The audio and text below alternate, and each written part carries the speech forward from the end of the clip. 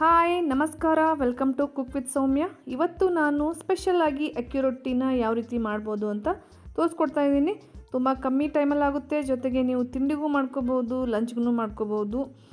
ಮನೆ ಮಂದಿಯೆಲ್ಲ ಇಷ್ಟಪಡುವಂತಹ ಅಕ್ಕಿ ರೊಟ್ಟಿನ ಯಾವ ರೀತಿ ಮಾಡ್ಬೋದು ಅಂತ ನೋಡೋಣ, ಬನ್ನಿ. ಫಸ್ಟು ನಾನು ಒಂದು ಪಾತ್ರೆಗೆ ಎರಡು ಕಪ್ಪಷ್ಟು ಅಕ್ಕಿ ಹಿಟ್ಟನ್ನು ಸೇರಿಸ್ಕೊಳ್ತಾ ಇದ್ದೀನಿ.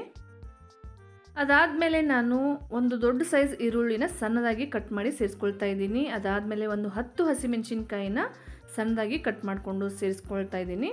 ನೆಕ್ಸ್ಟು ಒಂದು ಹೆಸರು ಕರಿಬೇವನ್ನು ಕೈಯಿಂದ ಕಟ್ ಮಾಡಿಕೊಂಡು ಸೇರಿಸ್ಕೊಂಡಿದ್ದೀನಿ. ಒಂದು ಚಮಚ ಜೀರಿಗೆ.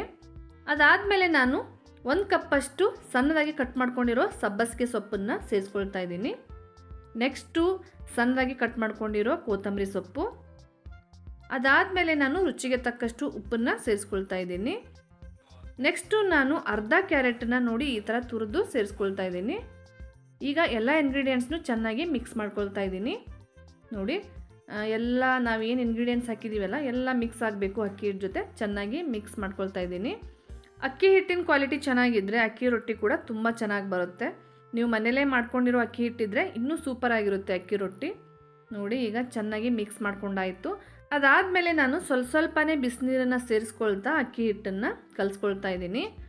ತುಂಬ ಗಟ್ಟಿಯಾಗೂ ಕಲಿಸ್ಕೋಬಾರ್ದು, ತುಂಬ ಸಾಫ್ಟು ಇರಬಾರ್ದು. ಆ ಹದದಲ್ಲಿ ನಾನು ಕಲಿಸ್ಕೊಳ್ತಾ ಇದ್ದೀನಿ. ನಾವು ಚಪಾತಿ ಹಿಟ್ಟೆಲ್ಲ ಕಲಿಸ್ಕೊಳ್ತೀವಲ್ಲ, ಅದೇ ರೀತಿ ಕಲಿಸ್ಕೋಬೇಕು. ನೀವು ಬಿಸಿ ನೀರನ್ನೇ ಉಪಯೋಗಿಸ್ಬೇಕು. ಯಾಕಂದರೆ ತಣ್ಣೀರಲ್ಲೇ ನಾವು ಕಲಿಸ್ಕೊಂಡ್ಬಿಟ್ರೆ ಕಟ್ ಕಟ್ ಆಗೋಕ್ಕೆ ಶುರು ಆಗುತ್ತೆ ಅಕ್ಕಿ ರೊಟ್ಟಿ. ಅಷ್ಟು ಟೇಸ್ಟ್ ಕೂಡ ಚೆನ್ನಾಗಿ ಬರಲ್ಲ.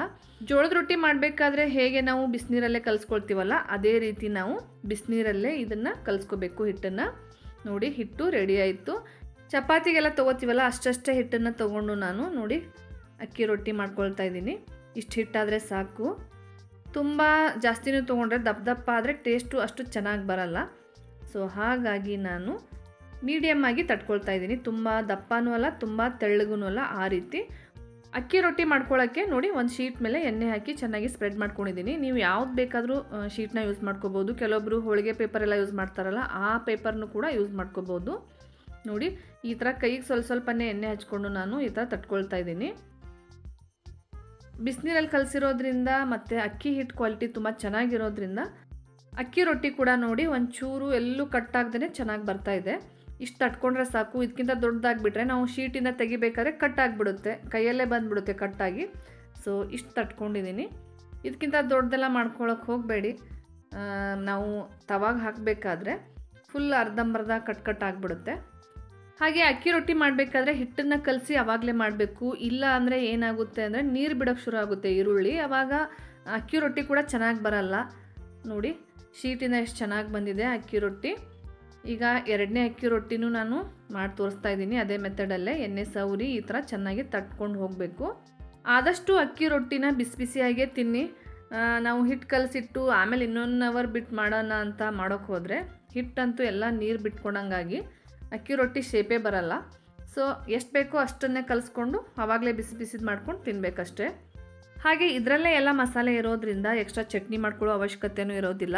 ನೀವು ಬೇಕು ಅಂದರೆ ಮಾಡ್ಕೋಬೋದು, ಇಲ್ಲಾಂದರೆ ತುಪ್ಪ, ಚಟ್ನಿ, ಪುಡಿ ಆ ಥರ ಹಚ್ಕೊಂಡು ತಿಂದುಬಿಟ್ರೆ ಸೂಪರಾಗಿರುತ್ತೆ ಸೊ ಫೈನಲ್ ಆಗಿ ನೋಡಿ, ಎರಡನೇ ಅಕ್ಕಿ ರೊಟ್ಟಿ ಕೂಡ ಎಷ್ಟು ಚೆನ್ನಾಗಿ ಬಂದಿದೆ. ಹಾಗೆ ಶೀಟ್ಗೆ ಒಂದು ಚೂರು ಅಂಟ್ಕೊಳ್ದೆ ನೀಟಾಗಿ ಬಂದಿದೆ.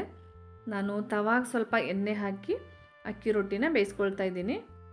ತವಾ ಫುಲ್ ಕಾದಿರಬೇಕು, ಮತ್ತು ಜೋರು ಉರಿಲಿ ಬೇಯಿಸ್ಕೋಬೇಕು, ಇಲ್ಲಾಂದರೆ ಹಸಿ ಬಿಸಿ ಬೆಂದ್ಬಿಡುತ್ತೆ. ಮೇಲ್ಗಡೆನೂ ಸ್ವಲ್ಪ ಎಣ್ಣೆ ಹಾಕ್ಕೊಂಡು ನಾನು ಚೆನ್ನಾಗಿ ಬೇಯಿಸ್ಕೊಳ್ತಾ ಇದ್ದೀನಿ. ಕೆಲವೊಬ್ಬರಿಗೆ ಸಬ್ಬಸಿಗೆ ಸೊಪ್ಪು ಇಷ್ಟ ಆಗೋದಿಲ್ಲ, ಅಂಥವರು ಸಬ್ಬಸಿಗೆ ಸೊಪ್ಪನ್ನು ಸ್ಕಿಪ್ ಮಾಡ್ಬೋದು.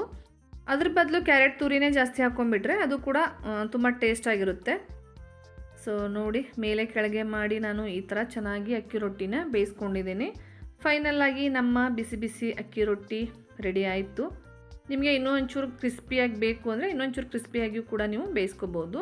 ಅದಾದಮೇಲೆ ನೆಕ್ಸ್ಟ್ ನೋಡಿ, ಅದೇ ಮೆಥಡಲ್ಲಿ ನಾನು ಇನ್ನೊಂದು ಅಕ್ಕಿ ರೊಟ್ಟಿನ ಬೇಯಿಸಿ ತೋರಿಸ್ತಾ ಇದ್ದೀನಿ. ಸ್ವಲ್ಪ ಎಣ್ಣೆ ಹಾಕಿ ಚೆನ್ನಾಗಿ ಎರಡೂ ಕಡೆ ಬೇಯಿಸ್ಕೋಬೇಕು.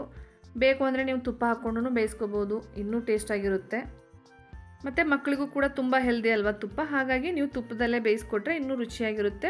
ತುಪ್ಪ ಅಕ್ಕಿ ರೊಟ್ಟಿ ಕೊಟ್ರಂತೂ ಇನ್ನೂ ಇಷ್ಟಪಟ್ಟು ತಿಂತಾರೆ. ಬೆಳಗ್ಗೆ ಬೆಳಗ್ಗೆ ಏನೂ ಪ್ಲ್ಯಾನಿಂಗ್ ಇಲ್ಲ ಅಂದಾಗ ಆರಾಮಾಗಿ ಈ ಅಕ್ಕಿ ರೊಟ್ಟಿನ ಮಾಡ್ಕೋಬೋದು. ಜೊತೆಗೆ ಮಧ್ಯಾಹ್ನ ಟೈಮಲ್ಲಿ ಏನಾದರೂ ಡಿಫ್ರೆಂಟಾಗಿ ತಿನ್ನಬೇಕು ಅನ್ನಿಸ್ದಾಗಲೂ ಕೂಡ ಅಕ್ಕಿ ರೊಟ್ಟಿನ ಮಾಡ್ಕೋಬೋದು. ಇದನ್ನು ನೀವು ತುಪ್ಪ, ಚಟ್ನಿ ಪುಡಿ ಜೊತೆ ತಿಂದ್ರಂತೂ ಸೂಪರ್ ಕಾಂಬಿನೇಷನ್ನು ಮಸ್ತ್ ಅಂದ್ರೆ ಮಸ್ತ್ ಇರ್ತೈತಿ. ನೀವು ಕೂಡ ಈ ರೆಸಿಪಿನ ಟ್ರೈ ಮಾಡಿ ನೋಡ್ರಿ. ಹಂಗೆ ಇವತ್ತಿನ ರೆಸಿಪಿ ಬಗ್ಗೆ ಏನೇ ಅನಿಸಿದ್ರು ಕೂಡ ಕಮೆಂಟ್ಸ್ ಬಾಕ್ಸಲ್ಲಿ ತಿಳಿಸೋದನ್ನು ಮಾತ್ರ ಮರಿಬೇಡ್ರಿ. ಮತ್ತೆ ಸಿಗೋಣಂತ ಮತ್ತೊಂದು ಹೊಸ ರೆಸಿಪಿ ಜೋಡಿ. ಅಲ್ಲಿವರೆಗೂ ಎಲ್ಲರಿಗೂ ನಮಸ್ಕಾರ. ಥ್ಯಾಂಕ್ ಯು ಧನ್ಯವಾದ.